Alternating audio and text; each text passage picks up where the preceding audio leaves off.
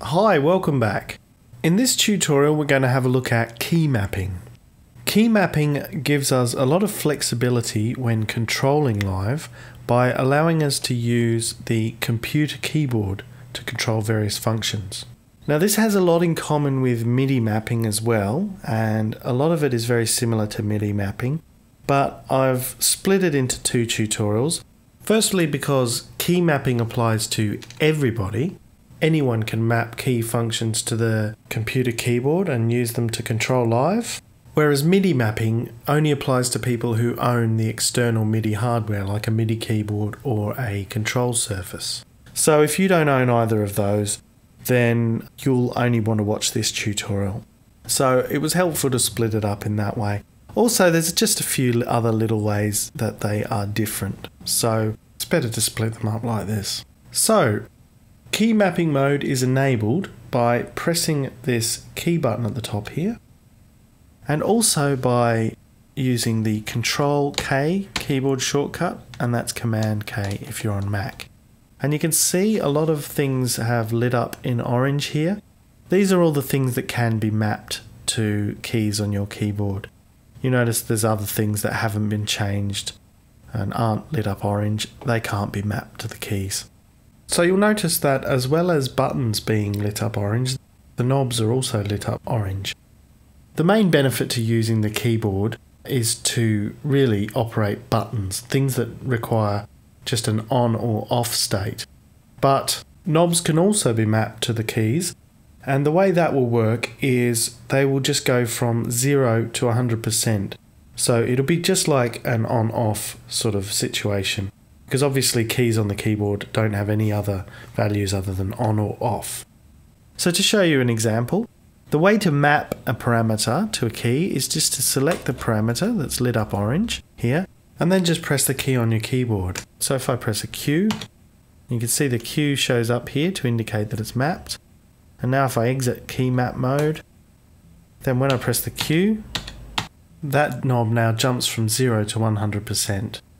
Likewise, I could map a button to the Q, and you'll notice I can map the same button to more than one parameter so that I can affect the two things at the same time and if I exit that, now they'll both change at the same time. Now, you might want it to work the other way around so that when the track is turned on, then the send is turned up. See, at the moment, the send is turned up, but the track is turned off, so that's not much use as you wouldn't hear the send. So, you can change how that works by going into key mapping mode and entering the key mapping browser with this button here. And this is where you can see all of your key mappings all laid out like this. It tells you here what key it is and uh, where it is and the name of what it's mapped to. But you've also got these columns here, minimum and maximum. This will only appear when it's mapped to something that can have the minimum and maximum settings, like a knob. You'll notice that the speaker on here doesn't have the option there. The speaker on button can only ever be on or off so it doesn't need a minimum and maximum setting. But the knob, we can actually change what the maximum setting it turns up to is. So if I just turn that down a bit, exit key mapping mode, now when I press the button, you'll see it doesn't go all the way up.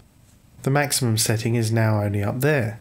So if we go back again, I can now actually swap them over. Now this is one way to change the behavior. But the thing is when controlling buttons with the keys on your keyboard, one thing to think about is your keyboard is intended to only ever press letters to type with. So it always sends the one message. It doesn't keep track of what's on and what's off.